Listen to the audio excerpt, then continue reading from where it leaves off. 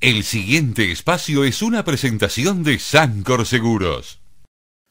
¿Y qué dicen sus amigos de cómo está la vendimia? bueno, yo no sé cuándo, yo no sé, eh, esta semana que cayeron, que llovió más, este, perjudicó un poquito la calidad de la uva, ¿verdad? Sobre todo, como usted sabe muy bien, en Uruguay las reglamentaciones que hay, y vio que INAVI ahora ya pusieron la piedra fundamental con el presidente de la República para su nueva sede, ¿verdad? este, o sea que va a estar muy bueno eso, tiene su propio laboratorio, en Uruguay no se le puede agregar azúcar. ¿verdad? A la uva, o sea que esta agua que cayó le saca, este, ¿cómo es que se llama? Que se le dice, le saca... Este, le saca consistencia, porque en realidad, en realidad este, le entra agua a la uva y pierde calidad. Claro, pierde calidad, pierde fuerza, entonces... Este, a, modo, hay una explicación este, mucho científica, más, más, más, técnica, más, técnica, más técnica.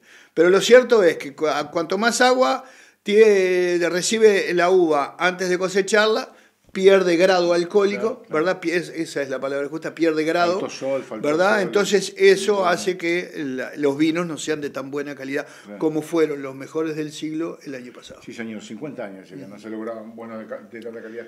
Hablamos con Pedro González, enólogo justamente de este establecimiento y asesor del Instituto Nacional de Vitivinicultura. Ojalá, ojalá. Este, yo creo que la cosecha del año pasado fue la mejor de, de 50 años, no me animo a, poner más, más tiempo porque no tengo tanta edad, pero este, gente mayor que yo asegura que, sí que fue la mejor en, 50 años por lo menos.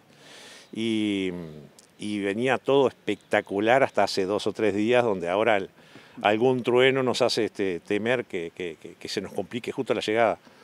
Eh, esperemos que el tiempo levante, esperemos que algunos pronósticos de lluvia este, que, que, que se anuncian para, para mañana y pasado este, se equivoquen, este, como ha pasado en alguna ocasión, y, no se confirmen, este, porque estamos iniciando ya vendimia con, con uvas este, muy buenas, y bueno, sería una pena que, se estropearan algunas. ¿no? ¿Por qué fue la cosecha del siglo? ¿Por qué hace 50 años no se veía algo igual? ¿Le, debemos al cambio climático o simplemente se dieron todo el terroir, se dieron todas las condiciones?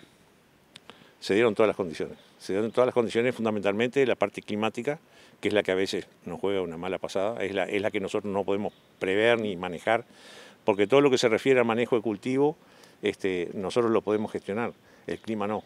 Este, y al ser un cultivo de intemperie estamos siempre ligados a lo que puede venir de arriba. Este, el año pasado se presentaron todas las condiciones favorables, eh, lluvias reducidas, llovió lo que tenía que llover, eh, no llovió cuando no tenía que llover, eh, podíamos elegir qué día cosechar, podíamos esperar las variedades, decíamos no, no cosecho el viernes para no complicarme el fin de semana, cosechamos el lunes, otros años, otros años no tenemos esa chance, ¿no?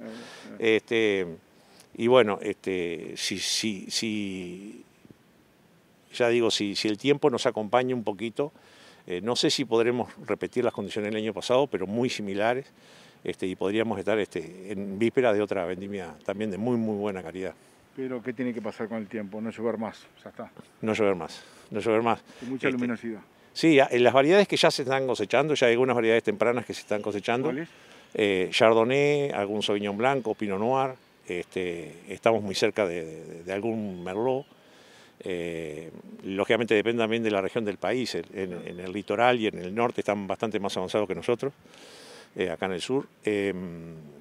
Pero hay variedades a las que le falta un mes. Entonces, eh, es por esas variedades que, estoy temiendo. Este, se pueden empezar a estropear rápidamente y sería un crimen que tuviéramos que cosecharlas eh, debido a problemas sanitarios y no a, y no a una madurez este, eh, correcta. ¿no? Tiene que aumentar el consumo. Estamos en 20 litros aproximadamente aquí en Uruguay. ¿Qué promedio? No estamos mal. Yo creo que no estamos mal. Estadísticamente no estamos mal. Este, podría, podríamos mejorar, sí, podríamos mejorar.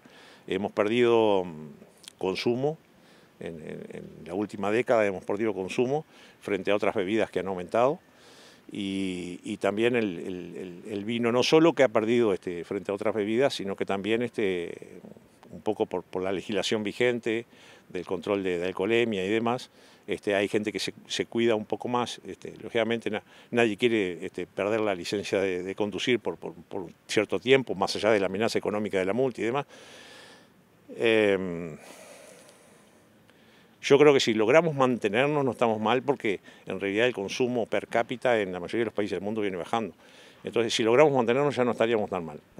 Este, ya este, 20 litros de consumo este, per cápita de promedio, este, yo creo que es, estadísticamente en el mundo es un consumo muy, muy alto, muy alto. Se pueden probar los vinos este año, entonces, eh, a la brevedad posible, ya estamos ahí. Es una ventaja que tiene Uruguay, ¿no? Ya en abril, mayo ya están los vinos en el mercado. Sí, sí, sí, la legislación permite que, que este, los vinos se consumen este, muy rápidamente, sobre todo de, bueno, determinadas variedades este, este, entran a consumirse dentro del mismo año.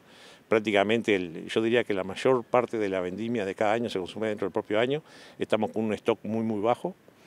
Este, la cosecha no se, no se anuncia como de un gran volumen, así que no va a haber ningún problema de sobrestock en vista. Este, no estamos mal. Podríamos estar mejor, sí, pero no me quejo, no, me quejo.